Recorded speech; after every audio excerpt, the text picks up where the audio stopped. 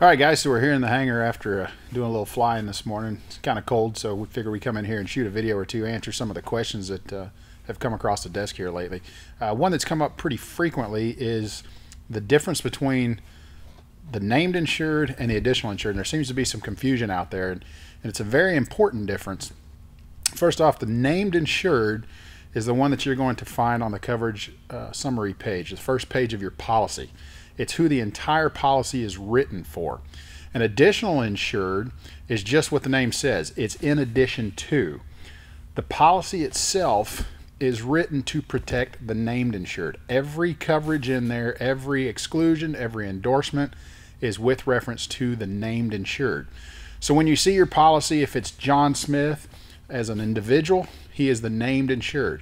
If it's John Smith Aviation LLC, that would be the named insured. And it will be, again, on the first page of your policy, the declarations page. Additional insureds may be somebody like an FBO or a hangar that you've got in a hangar lease agreement. It may be an instructor that wants to be added, and they can be added as an additional insured. What that does for you is it's kind of like a, an also ran. They're insured as well on the policy, but not to the full extent of the policy. The big difference in it is an additional insured can still be subrogated against. And subrogation is basically a technical term for the insurance company can sue them if they were negligent and their negligence caused the loss. Okay. The way to get around that is to add a waiver of subrogation. And you'll see that a lot of times in contracts. You'll also see some of the CFIs and some businesses that know what they're talking about or know what to look for that will say we want to be an additional insured with a waiver of subrogation. Now, the un, it's the underwriter's choice. He does not necessarily have to issue the waiver of subrogation because if he does that, he's waiving all of his rights to recovery against a negligent third party. So, in some cases, the underwriter will agree to add an additional insured, but they will not offer the waiver of subrogation. And again, the additional insured is just an addition to, just like the name says.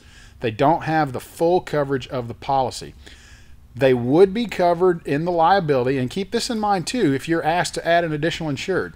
If you've got, let's say, a million dollar overall liability, that's a million dollar limit for the policy. That's to cover the named insured. But if you add an additional insured, that million dollar limit just got split up between you. It did not add an additional million dollar limit. So if there's a lawsuit in the event of an accident or fill in the blank, there's a lawsuit against the named insured and the additional insured party, whoever they are. That million dollars just got split up between you. So think long and hard before you just go out and you add somebody as an additional insured because you're paying a premium for that limit and you just split it with your additional insureds.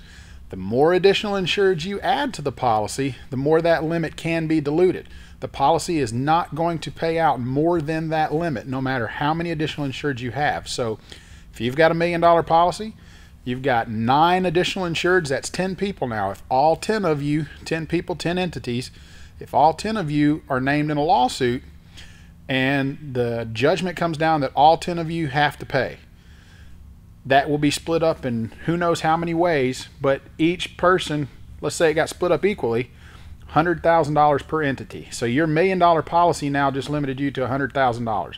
Now that's going to be split up different ways depending on how the adjuster goes, depending on how the courts decide. Gets into a lot of legal matters, but just keep that in mind. Anytime you add an additional insured, you're diluting out your limit. The named insured is who the policy is written for. Additional insured is any additions added to it. It's the easiest way to remember it. I'll be answering more questions as they come in. Shoot them to us through the YouTube here. Shoot us an email. Uh, my email is chdavis, Charlie Hotel Davis, Delta Alpha Victor India Sierra at chappellsmith.com. That's two P's and two L's, not Dave Chappelle, but Chappell, chappellsmith.com. Catch us on Clear on Top for any of your uh, questions. We'll see you back here next time.